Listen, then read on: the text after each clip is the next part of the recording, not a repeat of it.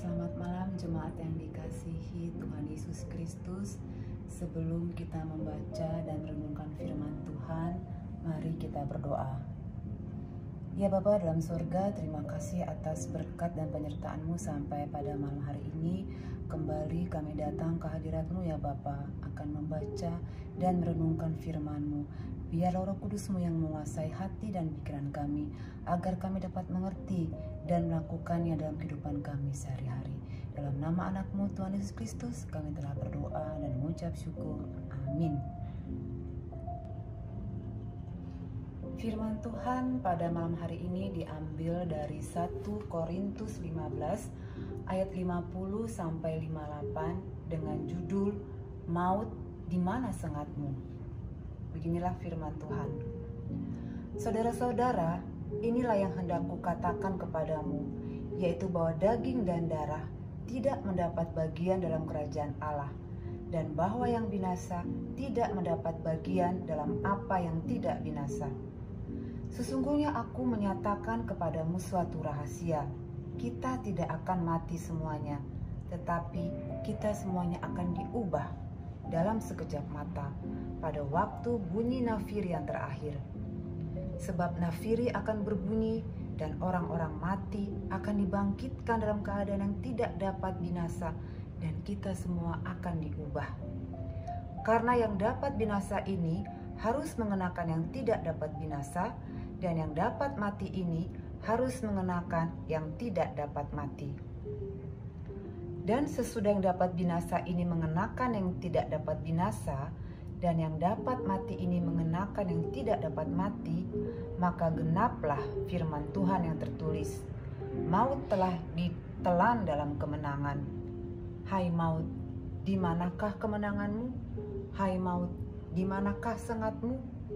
Sengat maut ialah dosa, dan kuasa dosa ialah hukum Taurat.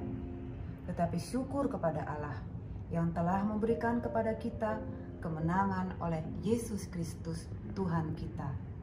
Karena itu, saudara-saudaraku yang kekasih, berdirilah teguh, jangan goyah, dan giatlah selalu dalam pekerjaan Tuhan. Sebab kamu tahu bahwa dalam persekutuan dengan Tuhan, jerih payahmu tidak sia-sia. Amin. Renungan khotbah kita pada dalam sore malam hari ini adalah ketika mau tertawa melihat kekalahan orang percaya Allah naik ke dalam ring dan merebut kemenangan kita. Cepat atau lambat, kita semua akan menghadapi peperangan dengan yang namanya maut. Dan maut adalah lawan yang kuat. Bagaimana ya menggambarkan maut? Mungkin seperti Mike Tyson waktu masa jaya-jayanya dulu. Dia datang, lawan takut semua, dan gak tahan lama. Lawan sudah KO dibuatnya. Itulah yang menyebabkan kenapa kebanyakan kita takut kalau menghadapi yang namanya maut. Karena kita melawannya dengan tubuh yang fana, semakin renta dan semakin rapuh saja dari hari ke hari. Semakin hilang daya kekuatan kita termakan usia.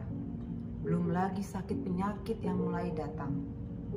Kalau sudah begini, selalu bisa dipastikan bahwa kita akan KO dibuat oleh si maut. Karena kita hanya mengandalkan jasmani dan pikiran kita saja. Tetapi Allah membalikkan keadaan. Bersyukurlah kita sebagai orang percaya ketika maut tertawa melihat kekalahan orang percaya di saat itulah Allah naik ke dalam ring dan merebut kemenangan itu untuk kita dari tangan si maut. 2 Korintus 15 ayat 54 sampai 57 berkata, Dan sesudah yang dapat binasa ini mengenakan yang tidak dapat binasa, dan yang dapat mati ini mengenakan yang tidak dapat mati, maka akan genaplah firman Tuhan yang tertulis, Maut telah ditelan dalam kemenangan. Hai maut, di manakah kemenanganmu? Hai maut, di manakah sengatmu? Sengat maut ialah dosa dan kuasa dosa ialah hukum Taurat. Tetapi syukur kepada Allah yang telah memberikan kepada kita kemenangan oleh Yesus Kristus Tuhan kita. Allah membalikan keadaan. Maut sekarang yang menjadi pesakitan yang kalah telak. Orang percaya tidak lagi menjadi takut dalam menghadapi si Raja K.O. maut karena ada jaminan dari Tuhan bahwa kita pasti akan menang. Mazmur 116 ayat 15 berkata, Berharga di mata Tuhan kematian orang percaya. Begitulah kesaksian pemazmur. Lawan terakhir maut yang jadi perenungan kita adalah apa yang akan dilakukan oleh maut menyadari kekalahan dirinya? Diam, menyerah begitu saja? Oh, tentu tidak.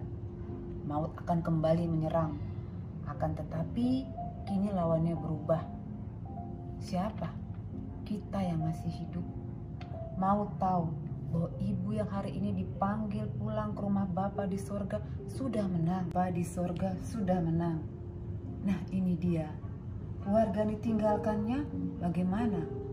Tanda tanya besar kan? Itulah celah bagi maut untuk kembali menyerang dan mencuri balik sukacita kemenangan kita semua. Ciri-ciri ketika maut membalas serangan kemenangan Allah untuk kita itu kepada keluarga yang ditinggalkan. Kesedihan yang berlarut-larut yang membuat kita pada akhirnya menyerang balik Tuhan dengan berondongan peluru pertanyaan kritis kita. Kenapa Tuhan? Mengapa Tuhan? Tantangan keluarga kita hari ini, ibu yang sudah dipanggil pulang oleh Tuhan, ibu yang sudah dimenangkan oleh Tuhan dari kuasa maut dan memiliki kehidupan baru yang bahagia di sorga bersama Tuhan. Sekarang bagaimana dengan kita yang ditinggalkan? Apakah kita juga merasakan suasana kemenangan dari Allah untuk ibu atau ayah kita yang sudah dipanggil Tuhan? Apakah kita juga bisa turut menikmati sukacita kemenangan, sorak-sorai kegembiraan Tuhan yang telah mencuri kemenangan maut dengan membawa pulang ibu ke rumah di sorga menuju kehidupan kekal? Mazmur 116 ayat 15 berkata sekali lagi, berharga di mata Tuhan kematian orang percaya. Begitu kesaksian pemazmur.